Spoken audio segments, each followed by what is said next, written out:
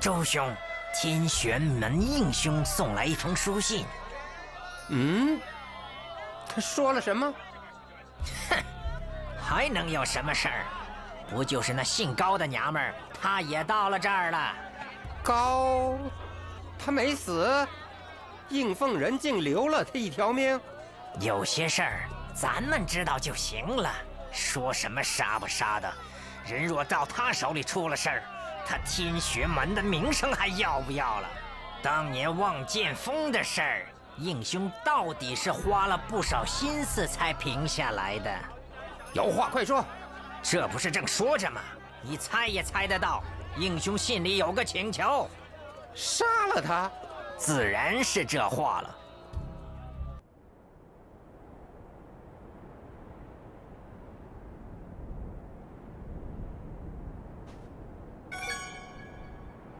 是你们？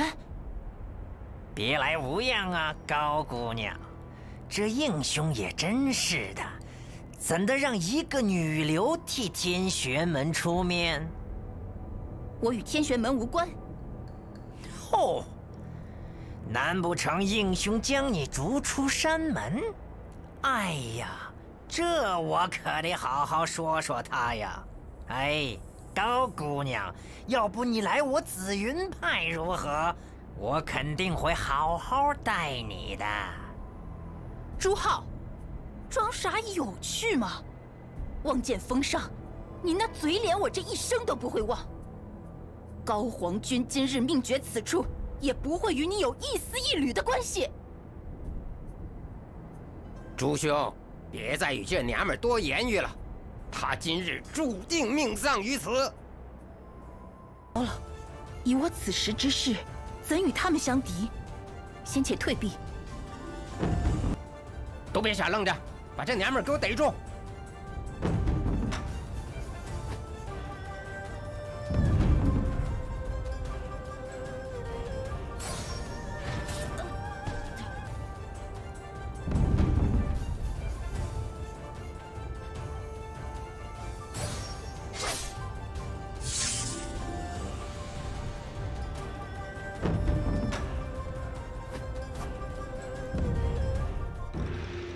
高姑娘，这是想去哪儿啊？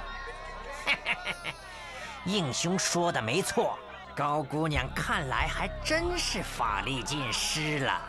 哎呦，可怜的一代侠女，就这么成了个废物。周崇朱浩，我已无能力复当日之仇，但我二师兄早晚会回来的。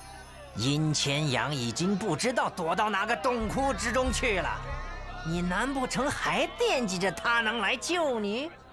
就算是有朝一日他重返此地，也想不起来你。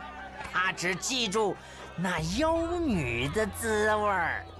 无耻！周兄，我动手了。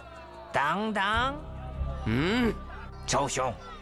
那高昌古城有乱象迷阵，贸然前往只能白白送死。那怎么办？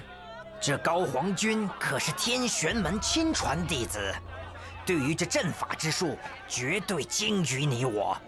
可他早晚要死，只是为什么不在他死之前让他能发挥点作用呢？哎，这也算是个善事儿啊。那好吧，就依你所言。